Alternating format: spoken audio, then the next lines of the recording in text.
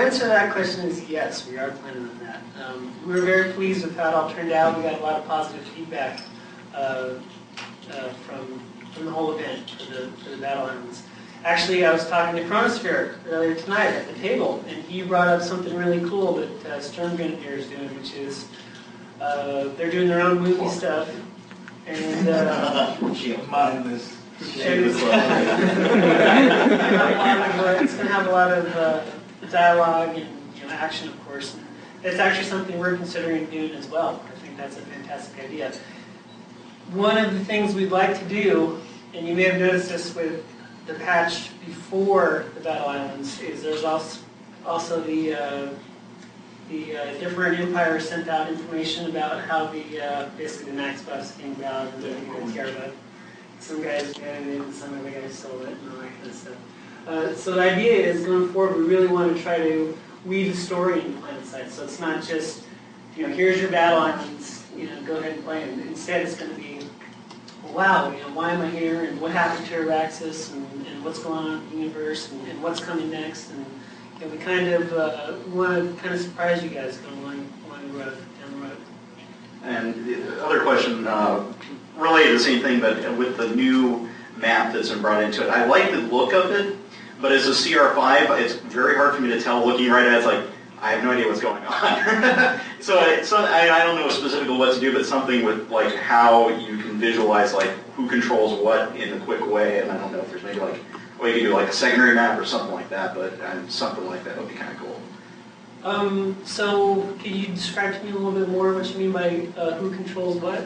Well, like on the older maps, it was very. I, when I brought up the map, it was real clear what what continents we had locked, what continents were you know under you know under attack, and I you know I could see it without really even thinking about it. Now it's like I kind of have to look around, and I it's. I mean, it may just be a matter of just getting used to the new map style, but it's. I feel like it's a lot of times it's kind of hard for me to, to really just see obviously which ones are in control. Like one thing I've been thinking about is like the planets on the map, it would be nice if maybe there was some like indicator to say that planet's under somebody's control. So you could just look at the star map and say, okay, that planet's purple, so it's under control, or have like a halo around it or something so you could tell. Uh-huh. So, Um, Talk to Hey You, he did it.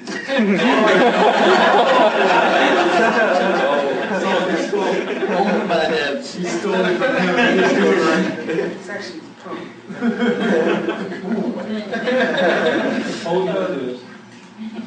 So the answer to that is, uh, I'm sorry to hear that you're having trouble with it, and you should definitely post your, your feedback on, uh, the forums so that we can take a look at it. And I, I know I've seen some threads, you know, kind of saying the same thing that you said. Um, specifically regarding which continents or, excuse me, which worlds are uh, empire locked. If you look at the, the panes, if it's empire locked, it'll have uh, the color of the empire on the outer edge of the showing that it's, that it's locked. So in that case, it might be, yeah, you just need to get a little bit more familiar with the map. But you know, we're very interested in feedback. We want to make things obvious. It shouldn't be hard for someone to you know, look at the map and figure out what's going on. If that's the case, then we need to change it. So definitely please put your, your feedback up there. Oh, oh, oh, you guys are on the spot. Okay, anybody else have any questions? How about some hard questions for these guys? Anybody? All right. Um, I guess this is sort of an art thing. Um, you guys have, uh, uh, in some of the, uh, the posts we got from like the TR command and the NC, you know, command, um, you, you guys hinted at orbital station stuff, and I was wondering whether that stuff is uh, going to be in game anytime soon, um, or what, if it's going to have any kind of cool function along with it, or whether it's just kind of part of the storyline. That's kind of the Let me question. answer this one. Yeah. Yes. That's all? Can you, okay, actually, uh, I'm just, I I don't think I was around when the orbital stations were first created. Can you, can you uh, fill everybody in on what the original intent of it was? well, the original intent was for people with the, the orbital strikes, I mean, not orbital strikes, sanctuary strikes, was, uh, when your sanctuary is under siege, that's where you would spawn. You know, and then you could drop from anywhere, you can drop anywhere from the orbital station. Um, you know, that went by the wayside for whatever reasons, I forget uh, now. But, uh, of course, everybody knows that you still harbor all the art on your, your hard drive, which we appreciate. Thank you. That's on my folder. Hold that stuff for us. Uh, It's there, and um, it's got, it's got plenty of stuff in there for like, uh, you know, it's got order terminals, and it's got, its own little art station. It's got pretty much everything the sanctuary has. So as soon as we get the, you know, I don't know.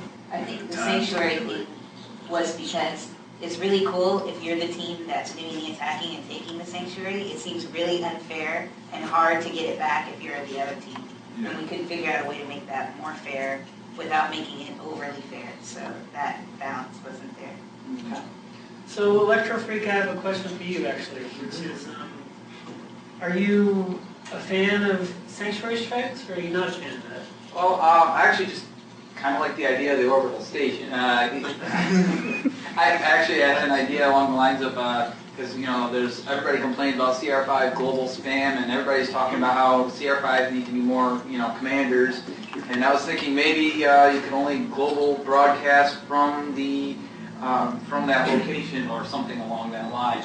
Or perhaps um, a CR5 who's up there um, will have, uh, I don't know, some kind of bonus, maybe some kind of advanced ability or whatever. Uh, that was really the only thinking in my mind, and I, I don't know, I've always just wanted to fly up there and walk around up in the station. but uh, Sanctuary Strikes, I don't know, uh, seems kind of cool, but you know, again, it could be really kind of pain in the butt for uh, you know the opposing sides. So. Yeah, I think the biggest problem was uh, people logging in and being under, under siege, you know, spawning in the sanctuary, like, oh no, what happened? And then you end up in the orbital station and you have no idea what went on, so. uh, Until we can come up with some answers for that, it probably won't happen, or it'll happen in a different function, it'll have enough functionality as opposed to trying to thwart uh, sanctuary strikes. Well, I uh, look forward to hopefully the date where you guys uh, put them back in. Can I just see a show of hands from everybody and uh, see who thinks Sanctuary Strikes might be cool in some form? That's pretty much everybody. like some, some sort of like end game at least, where it's like, you know, it's, you know, a lot of times it's like somebody's taking over the whole planet, you know, and then you kind of have to fight away, and that's, you know, kind of cool. But it's like, you know, a lot of times it's just like, all right, we're taking a bunch of continents, but you're not really going anywhere necessarily. It'd be kind of cool to have something like that, where you can. So one more thing, sorry, sorry. How about, how about a show of hands on who's interested in seeing something, some sort of end game where the game would reset and then a whole bunch of bases would go back to neutral, you'd still have, you know, your home continents and everything. A a win condition, basically. A win condition. That's what you're talking, Yeah, yeah. who's interested, who's interested in that?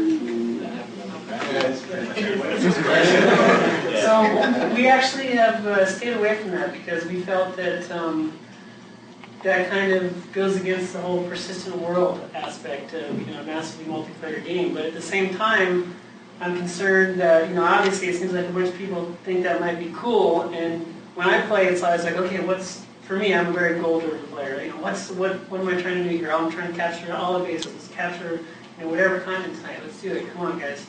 So having a, a game that goes over a whole bunch of days or weeks or you know a month or something, and then there's finally an end game and then it starts over.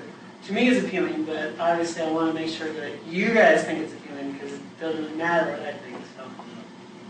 With you, uh, when you added the ability to have multiple characters on different uh, sides, I think you actually helped that with, you know, because if I'm an MC and we lose, I hate the Vanu, no offense Vanu, I'll make a TR. So so it's not like if the Vanu or the TR or the NC get kicked out, you're not gonna play, you're, you're not done. You can keep playing and fighting and killing those who hate. Actually, the, uh, the ideas that we had bounced around uh, for, for an in-game would have, so far, were along the lines of, when one side loses, then we determine which side is farthest ahead. So there'd be, you know, when one side's eliminated, then basically we stop the game. But you're right, since we have, you know, since you can have two empires per server, uh, we could say, okay, well, the NC have been eliminated. Sorry, NC. You're now abandoning TR to fight it out.